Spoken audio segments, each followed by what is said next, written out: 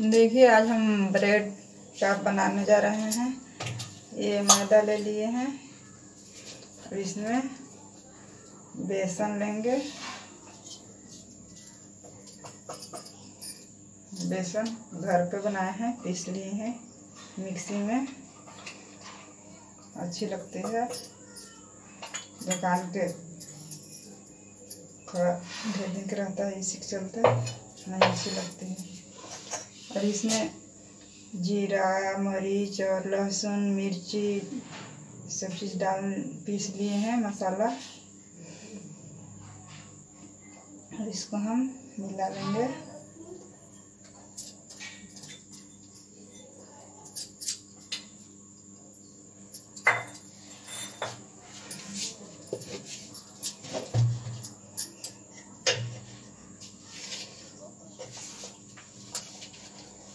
स्वाद के अनुसार नमक डालेंगे इसमें।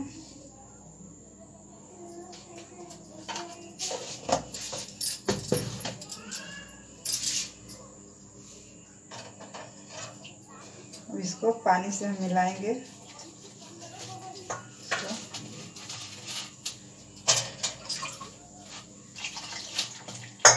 नहीं ज़्यादा पतला रखना है और नहीं, ज़्यादा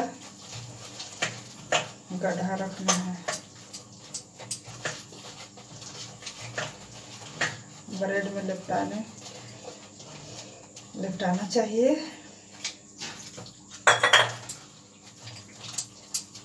देखो मेरा तैयार हो गया है।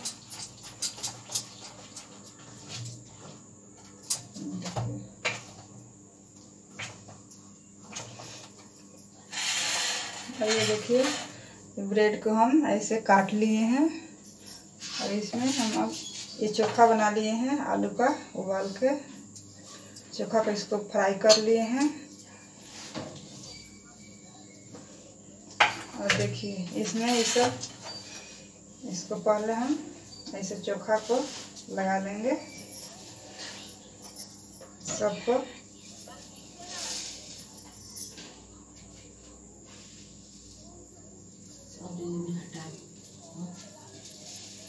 चोखा हम। इसी तरह इस सब ब्रेड में लगा लीजिए और इसको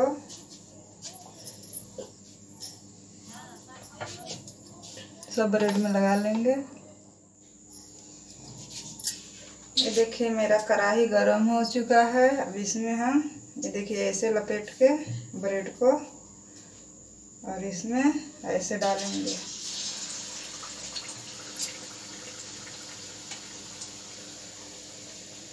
देखिए।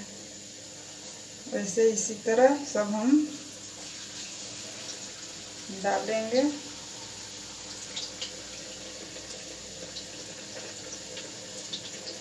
और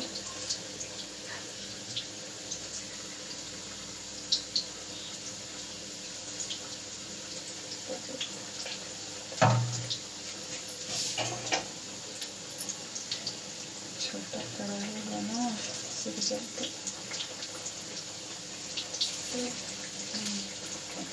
देखिए अब इसको हम फ्राई करेंगे। ये देखिए।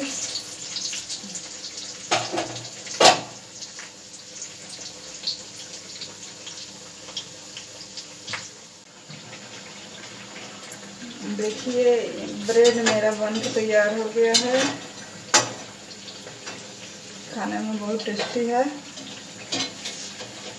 घर पे आसानी से बना सकते हैं। ये देखिए।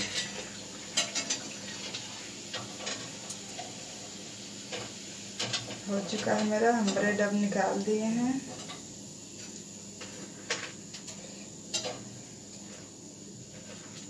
देखिए।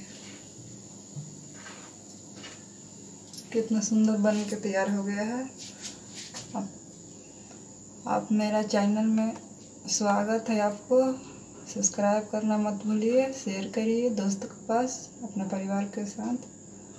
और घर पे बनाइए और खाइए टेस्टी पकौड़ा ब्रेड वाला।